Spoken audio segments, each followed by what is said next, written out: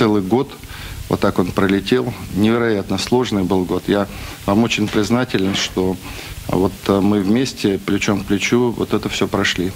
На очередном оперативном совещании Ради Хабиров заострил внимание на годовщине введения режима повышенной готовности на территории Башкирии. 18 марта прошлого года он подписал соответствующий указ из-за угрозы распространения коронавируса. Хотя ничего особо-то не изменилось. Ну да, чуть меньше болеет, но умирают также много. Довольно много людей умирает. Хабиров отметил, что сейчас его тревожит ситуация с распространением коронавируса в Западной Европе, где вводят полный локдаун. По словам главы Башкирии, чтобы не допустить такого в республике, необходимо усилить внимание к COVID-19. Люди устали, я понимаю, но если мы чуть-чуть поднапряжемся, то это позволит нам все-таки вот это вот возможное ухудшение ситуации каким-то образом пройти. Потому что э, сейчас, наверное, и климатическая, что ли, ситуация. У нас пока минус, может быть, это держит, не знаю. Пока действительно ровно все идет, но мы должны готовиться. Всегда лучше быть готовым к там самым нестандартным сценариям. Говорили на оперативном совещании и о вакцинации населения.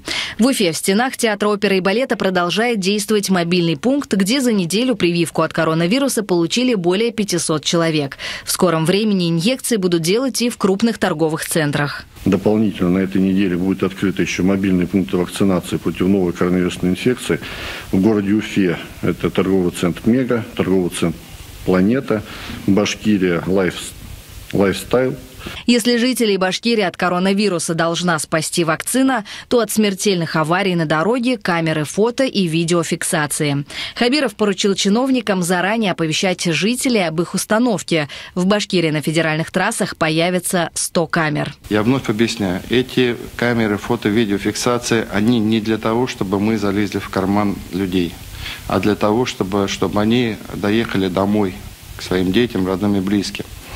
Для этого э, вот нам не надо прятать их. Дайте актуализированную ситуацию, где расположены эти камеры. Вновь дайте людям, чтобы люди прекрасно понимали, что вот открытый был. Вот, человек едет, он понимает, там вот камера, тут она должна быть. Э... На совещании Ради Хабиров снова затронул тему транспортной реформы. Он рассказал, что обсудил этот вопрос заместителем мэра Москвы, руководителем департамента транспорта Максимом Ликсутовым. Мы договорились, что у э, департамента транспорта Москвы у них есть мост транс проект, по-моему, называется, институт какой-то, так? Да.